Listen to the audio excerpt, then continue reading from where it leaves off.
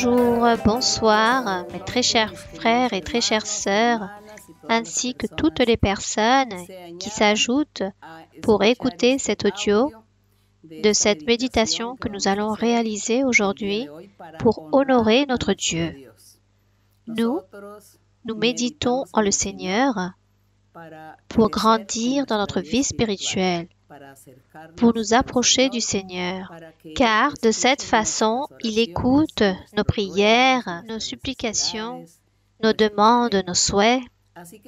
Donc, avec tout notre cœur, nous allons le faire. Et comme des questions m'ont été posées sur le matérialisme, Plusieurs personnes m'ont écrite pour que je puisse leur expliquer qu'est-ce que le matérialisme. D'autres me racontent et me disent, moi je suis en train d'économiser pour m'acheter un logement, mais j'attends juste qu'on m'approuve un prêt à la banque? Est-ce que cela est du matérialisme? Nous allons donc voir qu'est-ce que le matérialisme. Nous allons donc voir un peu, car réellement, ce sujet est très long et très vaste. Mais on dit que le matérialisme, c'est une attitude, c'est l'attitude d'une personne, c'est lorsqu'une personne agit de manière exagérée ou valorise, pense sur les choses matérielles de la vie, par exemple, par rapport à l'argent ou des propriétés ou autre chose, il s'agit d'une attitude démesurée. Il s'agit de quelque chose d'excédentaire. Disons que l'ambition se trouve en la personne. Lorsque quelqu'un me dit je suis en train d'économiser pour que la banque puisse m'aider avec l'apport de l'achat d'un logement, cela, ce n'est pas du matérialisme. Disons, c'est un souhait que la personne a dans son cœur d'avoir un jour son propre logement. Mais lorsque les choses sont exagérées, lorsque Dieu n'est plus valorisé, les choses de Dieu, la vie spirituelle, mais à tout moment, les personnes sont en train de penser aux choses matérielles de la vie, alors voici ce qui est mauvais et ce que nous appelons le matérialisme. Je me souviens, lorsque l'Église avait débuté, nous nous prions tous les soirs de 19h jusqu'à minuit et toute la nuit. Je me souviens qu'un samedi, vers une heure du matin, nous étions en train de prier et le Saint-Esprit s'est manifesté. Et Dieu a commencé à nous parler et à nous réaliser des promesses merveilleuses. Et parmi tant de choses, Dieu nous disait qu'il fallait que nous continuions à nous assembler. Nous étions à peine que quatre personnes et le Seigneur disait, réunissez-vous car de ce petit troupeau, je vais faire une grande église, une grande œuvre. Et l'église va être très grande, tant en Colombie que dans le monde entier. Et le Seigneur disait, continuez de l'avant car vous, vous cherchez les choses spirituelles, vous vous inquiétez pour les choses spirituelles. Il existe beaucoup de dénominations, beaucoup d'assemblées, beaucoup de religions qui disent être chrétiennes, croyantes, mais moi, je ne suis pas avec eux, je ne me manifeste pas avec eux, car il s'agit de personnes matérialistes. Voici ce que disait le Seigneur. Ce sont des personnes matérialistes. Ces personnes ne cherchent pas les choses spirituelles. Elles ne s'inquiètent pas et ne veulent pas les choses spirituelles. Il y avait du matérialisme en ces personnes.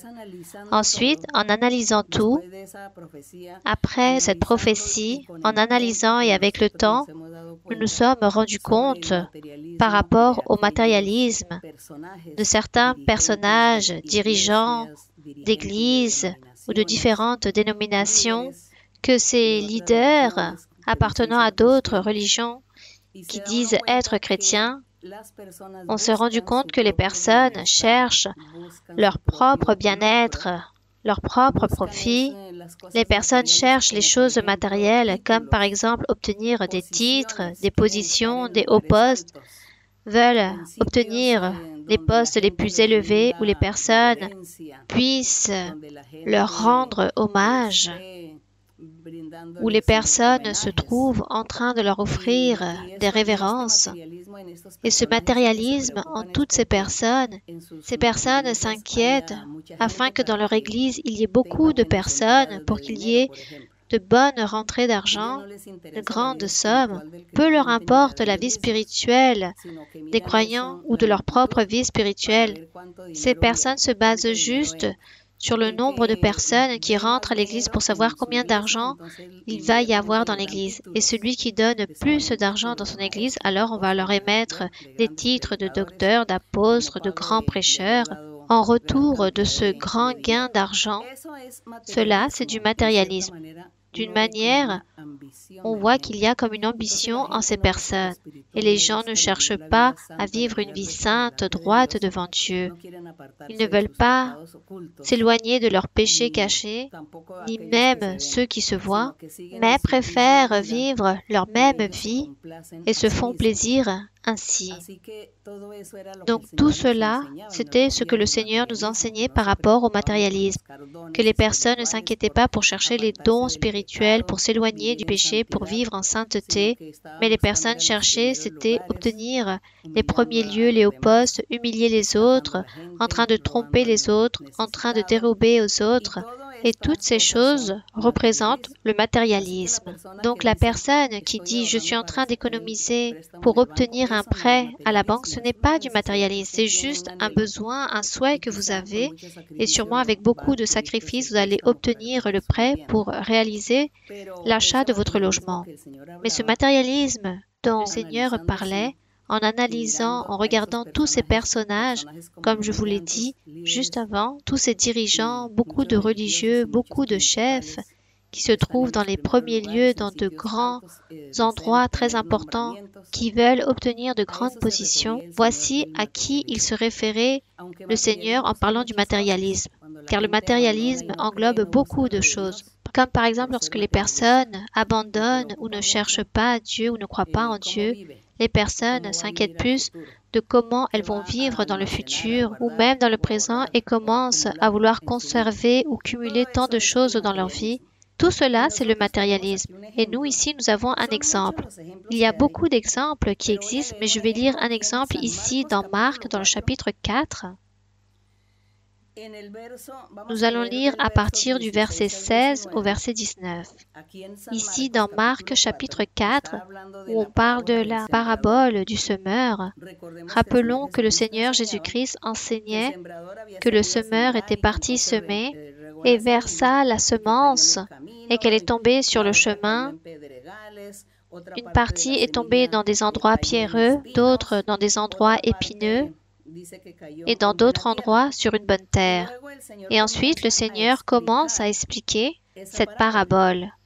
Par exemple, dans le verset 16, le Seigneur dit, il est écrit, les autres pareillement reçoivent la semence dans des endroits que ce semeur, lorsqu'il a versé la semence, une partie est tombée dans le chemin, mais une autre partie est tombée dans des endroits pierreux.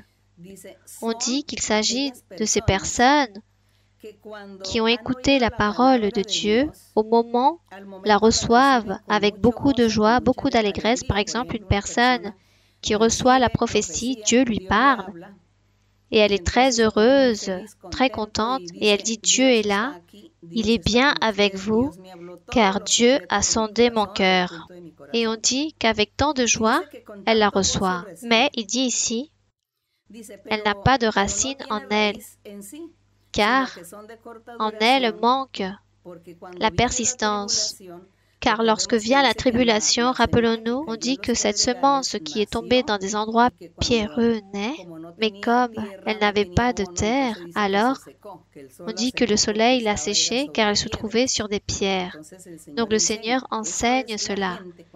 Comme lorsque les personnes reçoivent la parole de Dieu avec beaucoup de joie, mais lorsque la persécution, la tribulation, le moment difficile arrive, ces personnes trébuchent, reviennent en arrière, cessent de déposer leur confiance en Dieu, leur assurance, oublient l'Église, oublient les choses de Dieu et oublient de lire la Bible et de chercher Dieu. Voici ce qui se produit en ces personnes comparé à cette semence qui est tombée sur ces endroits pierreux. Et aussi dans le verset 18, il dit d'autres reçoivent la semence parmi les épines, car il dit que la semence que le semeur a versée, une partie est tombée parmi les épines. Et dit que le petit arbre, l'arbuste, a grandi, mais les épines l'ont étouffé et cette semence a péri. Donc, ces semences n'ont servi à rien d'être tombées dans ces épines. Donc, le semeur a perdu son fruit, il a perdu la semence, il a aussi perdu son temps.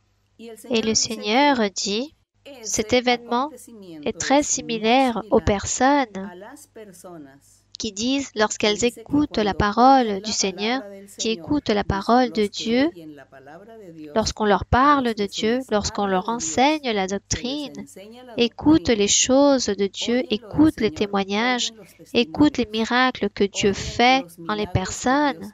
Elles écoutent et voient tous les miracles que Dieu fait au milieu des personnes, mais aussi en elles-mêmes alors elles deviennent heureuses et viennent et assistent à l'Église durant un temps, mais on dit qu'ensuite viennent les épreuves. De quelle façon? Les soucis du siècle, la séduction des richesses, la tromperie, les convoitises, parmi tant de choses, viennent et étouffent la parole et la rendent infructueuse. Donc, les soucis de ce siècle, comme les maladies, les problèmes, les tribulations, les tristesses, les amertumes, les divorces, les incompréhensions, les querelles, les colères, les jalousies, les haines, les vengeances, tout cela qui existe dans le groupe de famille ou d'amitié ou de proches, on dit que tout cela est comparé avec la semence qui est tombée dans les épines. On dit que tout cela sépare la personne du chemin de Dieu. Les mêmes richesses aussi, car les personnes veulent ensuite se couvrir de richesses, cherchent l'argent et deviennent avares, mesquines, avides, usurières, par le fait de vouloir obtenir tant d'argent et la personne ne va partager avec personne.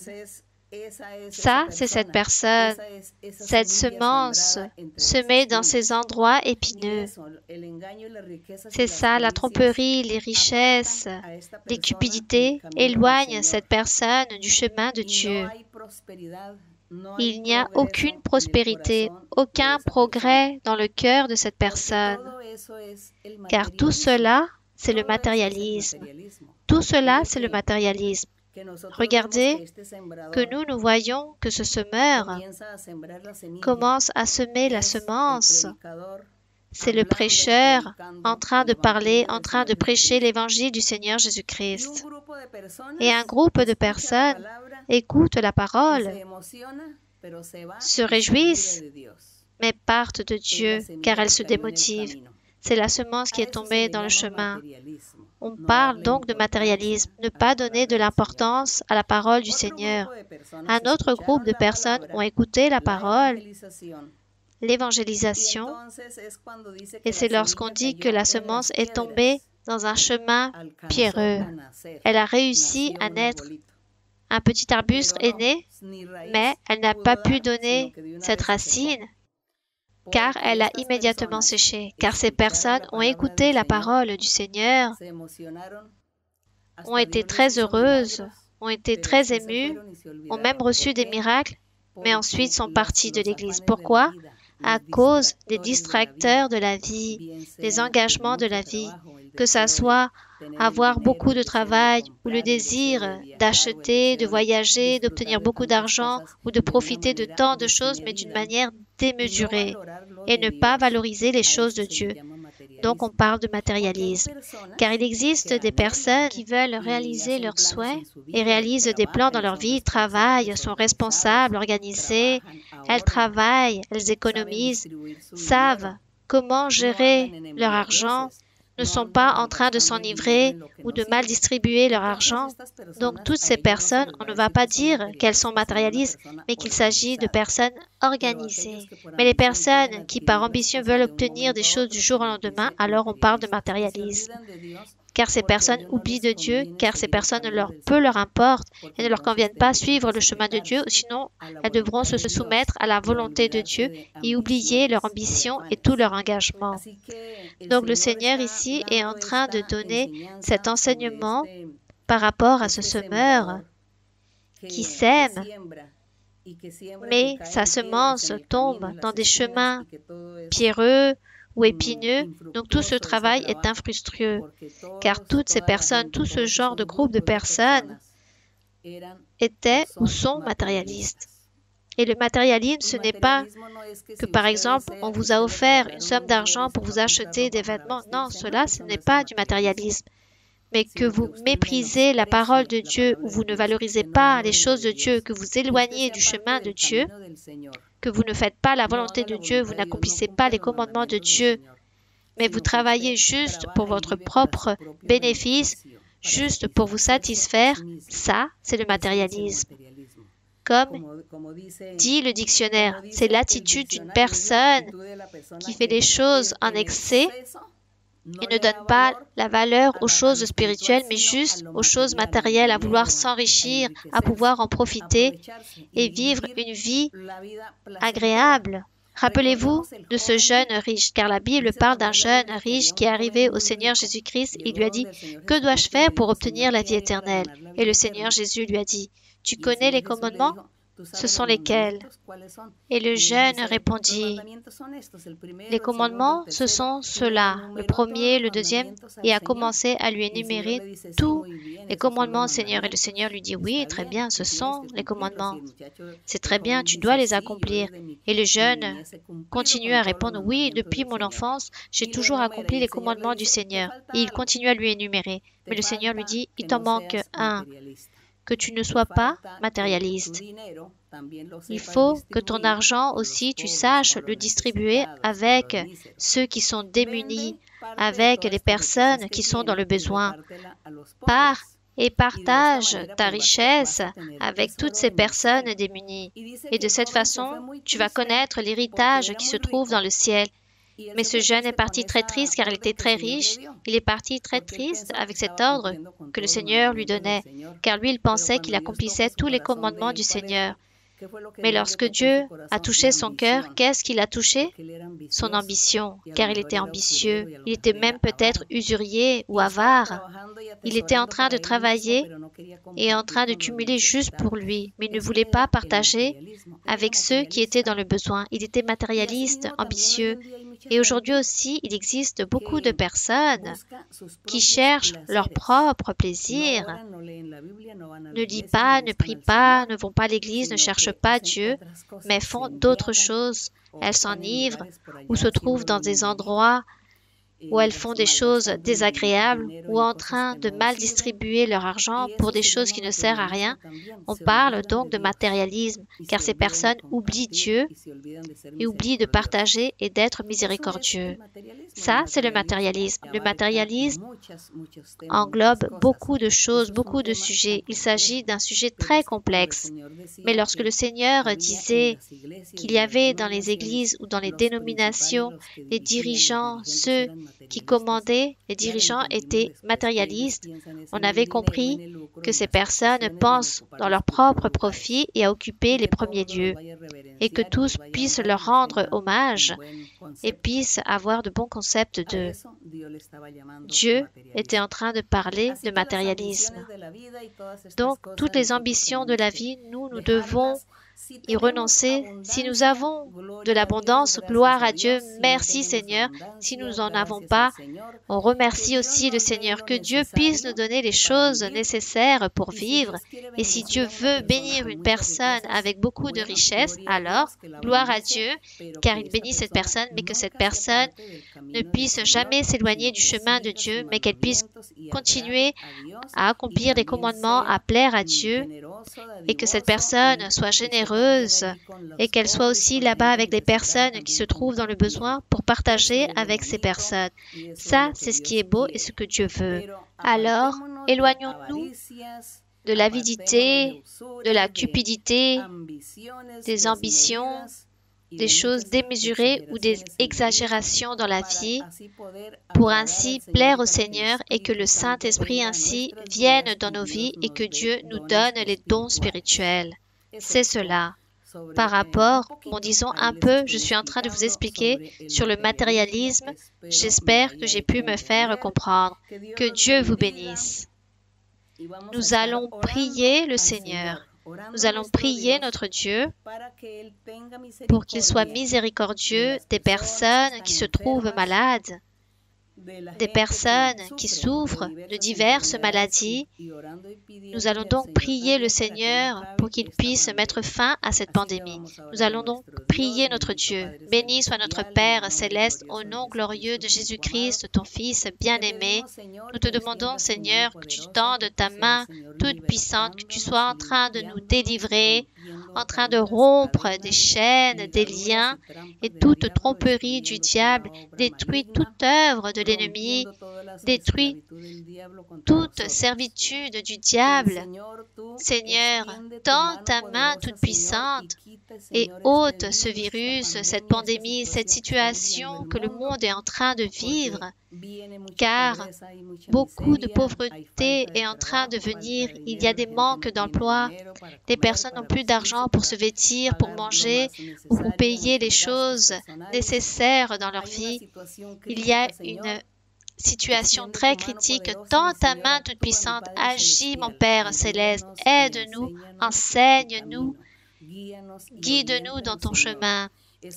Écoute nos prières et regarde toutes les nécessités que nous sommes en train de vivre. Père, je te demande aussi pour ceux qui sont malades, car il y a beaucoup de personnes remplies de diverses maladies. Il existe beaucoup de personnes avec des maladies incurables, des enfants, les personnes âgées de tout âge, mon Seigneur. Tends ta main, guéris, délivre, purifie, ôte aussi les sorcelleries les envoûtements, les malédictions. Regarde, Seigneur, il y a beaucoup de personnes qui écrivent en train de raconter leurs difficultés, leurs problèmes, en disant qu'elles sont en train de souffrir, qu'elles sont perturbées par des mauvais esprits à cause de la sorcellerie, des envoûtements, à cause de la pauvreté. Ces personnes souffrent toutes ces choses. Sois miséricordieux de toutes ces personnes qui souffrent, qui prient, Peut-être ces personnes ne savent pas prier devant toi, mais toi, Seigneur, tu es miséricordieux, tu es juste, tu connais les besoins de chaque personne. Béni soit notre Dieu Tout-Puissant. Purifie-nous, délivre-nous, ôte toute ambition, ôte tout matérialisme de nos cœurs, de notre être, que nous soyons conformes avec ce que nous avons, avec ce que nous sommes, ce que tu nous donnes que nous vivons une vie droite devant toi. Aide-nous, Seigneur. Aide, mon Père Saint, dans ta main. Bénis les tiens, tes fils, toutes ces personnes qui écoutent la parole et qui veulent dans leur cœur suivre ton chemin, ce chemin qui t'appartient. Merci, mon Père, au nom glorieux de Jésus-Christ, ton Fils bien-aimé. Amen. Béni soit le Seigneur. Chantons au Seigneur ce cantique merveilleux qui s'intitule Prends de grâce ma main, ô mon. Toma por favor mi mano, Señor. Contigo quiero ir. Con sangre aquí pagaste por mí. Te quiero hoy servir. Anhelo poder lo malo vencer y en santidad vivir. Toma por favor mi mano, Señor, contigo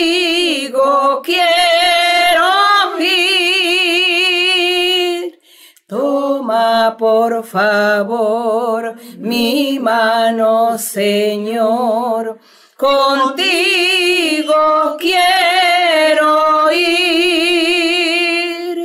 Con sangre aquí pagaste por mí. Te quiero hoy servir. Anhelo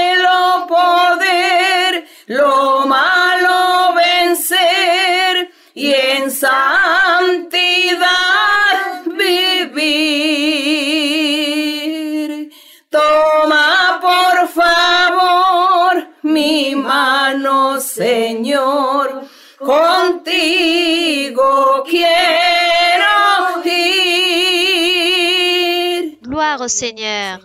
Merci mon Père Saint. Au nom de Jésus-Christ, ton Fils bien-aimé, mes très chers frères et très chères sœurs, que Dieu vous bénisse, ainsi que toutes les personnes, que Dieu vous bénisse grandement, que Dieu vous donne de grands triomphes spirituels dans votre vie, que Dieu vous console. À très bientôt. Merci.